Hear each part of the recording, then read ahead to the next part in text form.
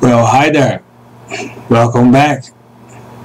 Um, I'm Leonardo. I'm civil engineer from Brazil and graduate student in fluid mechanics. So, this is our fourth video in a series of uh, videos on Navier-Stokes equation and its general properties and on this particular video we'll start talking about some analytical solutions of the Navier-Stokes equation. In this case we arrive at the fundamental equation of hydrostatics in which is the case of a fluid at rest okay so uh, as usual we'll start from the fully the full Navier-Stokes equation and here we included uh, the term which is due to the gravity force acting on a fluid right? So to a first uh, analytical solution of Navier-Stokes equation we'll make assumption of a fluid at rest. So the velocity vector is equal to the zero vector in which all its components are zero so we substitute this in the Navier-Stokes equation and we can see that the temporal and the convective uh, acceleration term vanishes as long along with the uh, viscosity term okay? So now we are only left with the pressure term and the gravity force okay? So the equation that we are left is called the fundamental equation of hydrostatic or hydrostatics equation okay? So the, as you can see here uh, our only variable left is the pressure okay? So we now have in the case of three-dimensional space we have uh, three equations and one variable okay so what this uh, equation saying uh, to us essentially is that the gradient of the pressure field is only dependent on the gravity field along this fluid, okay? And how and if you are dealing with a stratified medium in the case where uh, the density varies with along a particular direction, say x, y, or z. Uh, the gradient of the pressure, the pressure field distribution will only depend on these two variables, okay? By a stratified medium, we can think of uh, the ocean in the case where we are, we are particularly interested in large depths of the ocean where we have a significant variation of uh, the density okay among other examples so uh, the function which uh, satisfies our differential equation is uh, a function of x y and z okay? There is no p is no longer uh, a function of t right So when we expand this uh, vector form here in the three scalar equations, we obtain this set of three equations here where we have uh, the derivatives with respect to x, y, and z of the pressure field which is the gradient of p if you recall from vector calculus. And we have the three components of the gravity acceleration right? And we have our corresponding boundary condition or initial condition which is not exactly an initial condition. But at some point in the field uh, of pressure which we are particularly interested we must know uh, reference pressure. It could be zero it could be atmospheric pressure it could be in fact any pressure of reference okay? So we need this information here in order to solve this system of equations. So let's uh, take a particular example and uh, of interest and with many applications in engineering, in physics, and uh, among other fields in hydraulics, particularly when studying the forces acting on submerged obstacles at fluids at rest. So uh, this particular example is an hydrostatic distribution in a fluid in which the gravity acceleration is normal to its surface. Typically it would be this situation here. Imagine that this is a channel, we're seeing the cross section of a channel. Pick a black color here.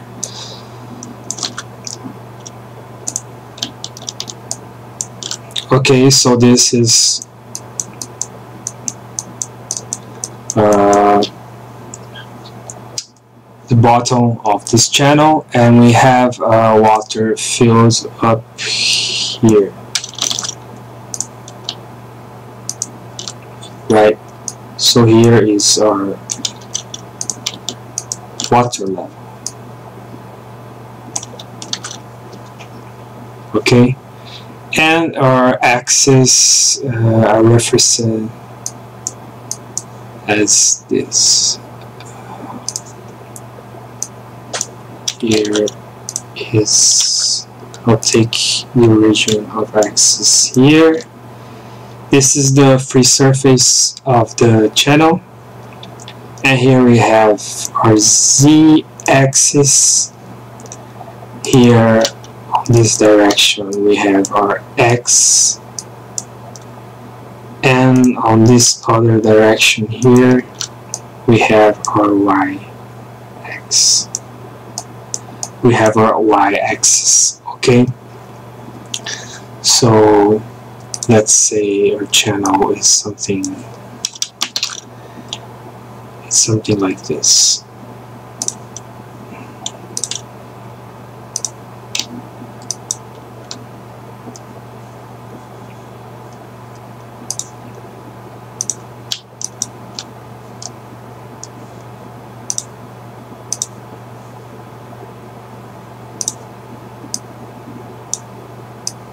right? So uh, this is a channel let's say water at rest and here is the free surface of the channel okay? Our gravity acceleration pulls in this way in the positive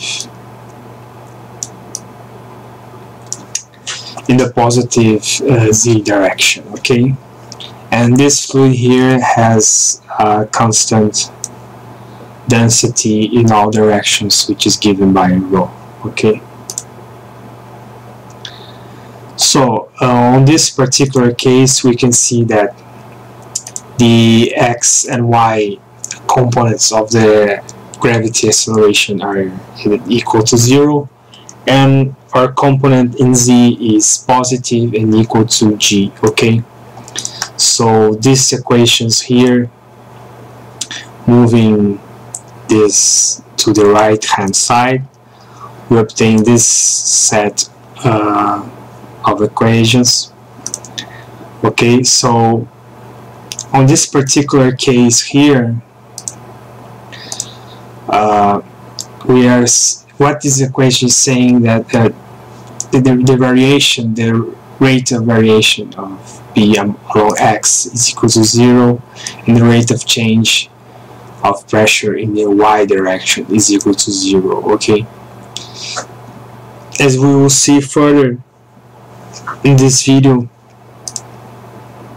as we'll see further on this video uh, there will be only variations of pressure in the z direction okay so we can now uh, integrate this equation. Uh, here I just uh, move the, the differential operator to the right hand side. Here we have 0 and we integrate this equation uh, from our reference pressure. Remember our uh, boundary condition is given by this okay? So integrate from p0 to p and from x0 to x uh, y 0 to y and z 0 to z okay? Which is given by this. We are uh, solving the differential the partial differential equation along, along the three axes okay? So uh, here when you integrate uh, a constant uh, sorry uh, when you integrate 0 you obtain a constant. Here also uh, you obtain a constant and here you obtain a linear function because you're, you're integrating a constant okay? One thing to remark here is that uh, this is a partial integration. So your constant of integration will be uh, a function okay? Because this is a partial integration so you have here so you have here uh, a constant plus a function of y and z because you integrated only in the x direction. Similarly uh, here you have uh, you integrate along the y direction. So you have a known which is uh, this function g which is function of x and z and here uh, as integrated in the z direction we have this constant of a this constant h which is which is a function of x and y okay? Well as, as you can see here uh, this is both c1 and c2 are constants which are neither function of x or y. Thus, by comparing this, uh, these equations, by comparing these equations, we can see that uh, this function h is equal to 0, okay? So, what now we are left, uh, we know uh, by consequence that uh, f and g are only function of z, okay? So what we are now left is uh, these three equations here, which uh, are only unknown is f and g. Okay.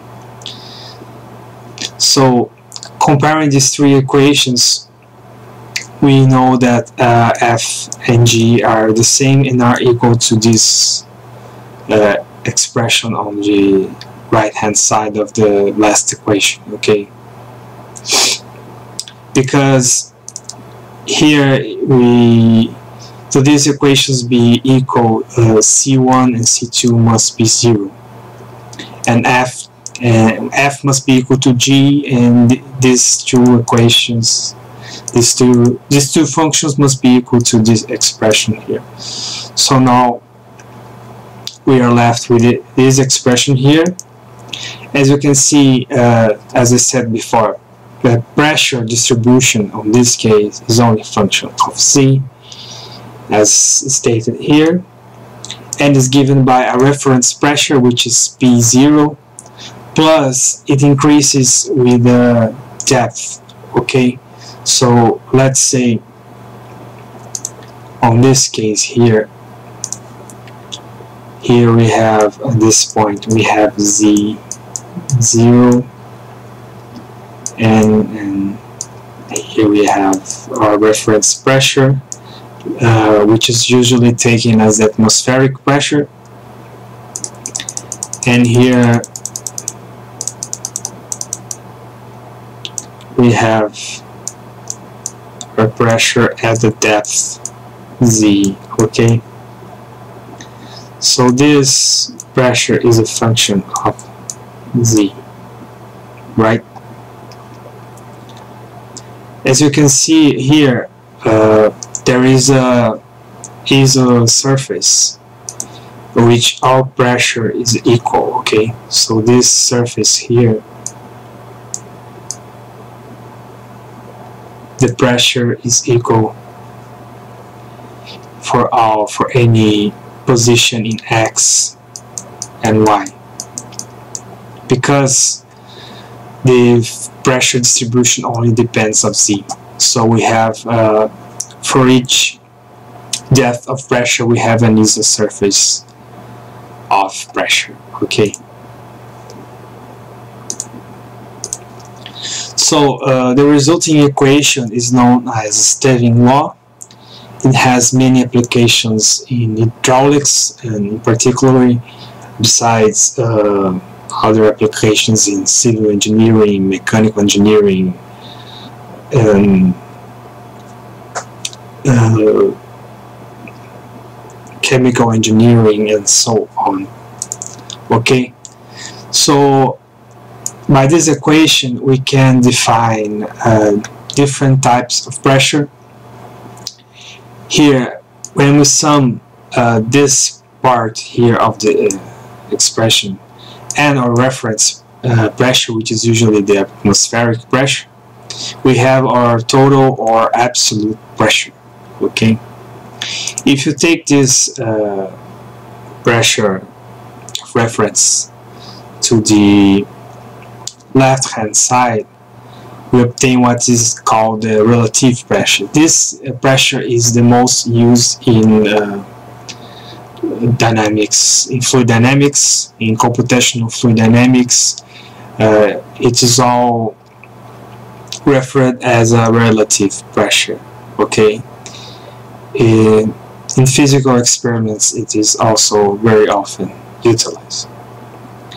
And uh, in situations where we